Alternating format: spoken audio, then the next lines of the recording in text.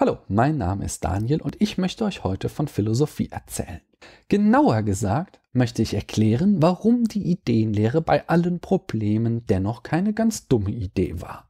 Wir haben in der letzten Folge die Ideenlehre kennengelernt und ich hoffe, ihr habt zumindest ein wenig die Probleme nachvollziehen können, die ich aufgezeigt habe. Und ihr habt euch daher zumindest einmal gefragt, what the fuck? Ist das wirklich alles notwendig? Gibt es das nicht einfacher? Lebensnäher oder wenigstens mit Bluetooth? Daher möchte ich euch heute erzählen, warum die Ideenlehre, obwohl sie ein metaphysischer Mindfuck ist, keine ganz dumme Idee war. Wir haben ja in der Folge zur Suche nach sicherem Wissen gesehen, wie Platon überhaupt auf die Idee kam, dass es Ideen gibt. Er wollte wissen, was das Wesen eines Begriffes ist. Was ist die wahre Bedeutung von etwas? Das ist die Antwort auf Sokrates berühmte Was ist Frage. Aber ist es da wirklich nötig, so ein verschachteltes Luftschloss zu errichten? Kann man die Was ist Frage nicht einfacher beantworten? Wie wäre es zum Beispiel damit? Wir hatten zwischen der Extension eines Begriffs entschieden, also dem Begriffsumfang, und der Intention, also der Begriffsbedeutung. Aber müssen wir das überhaupt? Könnten wir nicht einfach sagen, die Bedeutung eines Begriffs ist einfach alles, was der Begriff umfasst? Also die Extension ist gleich der Intention eines Begriffs? Klar können wir das. Natürlich wurde dieser Gedanke in 2500 Jahren Philosophiegeschichte auch schon gedacht. Ich habe das sogar selbst schon gemacht. In der letzten Folge, als ich sagte, dass die DVD in Glorious Bastards die Bedeutung des Wortes in Glorious Bastards ist. Das ist eine Sichtweise, die wir vertreten können. Aber wenn wir das machen, dann entstehen uns neue Probleme. Ich will euch ein Beispiel geben. Wir haben in unserer Sprache viele Begriffe, die den gleichen Begriffsumfang haben, aber verschiedene Bedeutung. Ein klassisches Beispiel in der Philosophie, das jede Bachelorstudentin lernt, sind der Morgenstern und der Abendstern.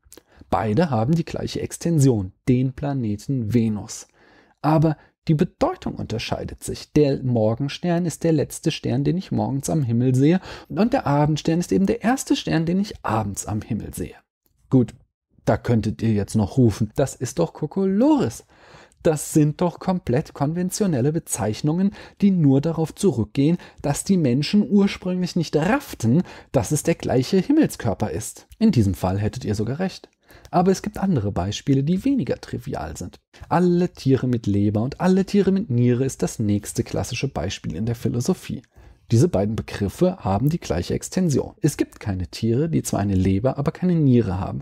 Trotzdem macht es für eine Ärztin oder einen Biologen mitunter einen großen Unterschied, ob sie sich mit Lebern oder Nieren auseinandersetzen. Die Wissenschaftstheorie kennt ein Problem, das aus der Deckungsgleichheit von Extensionen entsteht, die sogenannte Scheinkorrelation. Durch Begriffe, die in ihrem Begriffsumfang deckungsgleich sind, entstehen vermeintliche Zusammenhänge, die aber keine sind. Und erst wenn wir uns um die Intention, also die Bedeutung eines Begriffs kümmern, erkennen wir diese Scheinkorrelation.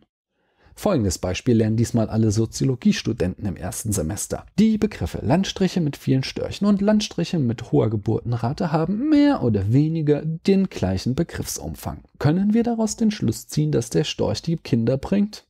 Wohl kaum. Ich stelle das alles jetzt grob verkürzt dar. Und je nachdem, mit was ihr euch sonst so beschäftigt, sind euch diese Probleme sicher schon das ein oder andere Mal in einem anderen Gewand begegnet. Aber eines liegt für uns Philosophen am Grunde dieser Fragestellung. Quasi die unterste Schicht bildet immer das Universalienproblem. Und für dieses Universalienproblem stellt die Ideenlehre eben eine verdammt clevere Lösung dar. Wenn auch keine unproblematische Lösung, wie wir sahen. Doch was genau das Universalienproblem ist, das erzähle ich euch beim nächsten Mal. Bis dahin würde ich mich freuen, wenn ihr diese Folge auf Twitter teilt.